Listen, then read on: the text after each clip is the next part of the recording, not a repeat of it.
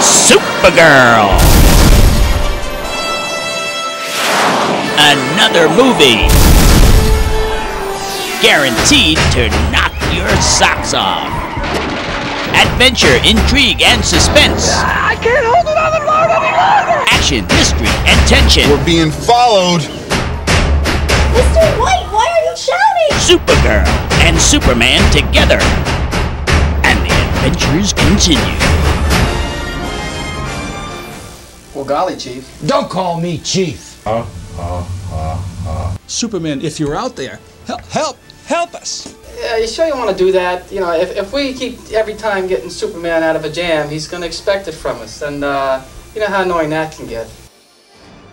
Jimmy, you came very close to getting yourself fired.